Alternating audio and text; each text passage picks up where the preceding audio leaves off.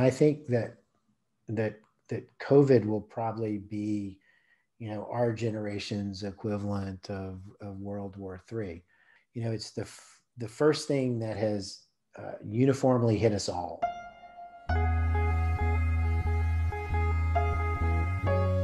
Systems have broken down, and um, the ability for you know millions and millions of day laborers who you know we're already sort of existing on a very the very thin line of poverty.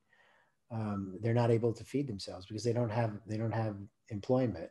You hear stories about farmers who you know can't sell their crop or can't bring in their crop committing suicide. You hear you know in bangladesh stories of of uh, of garment uh, workers who have have lost their employment because the market is dried up, who are uh, you know committing acts of violence.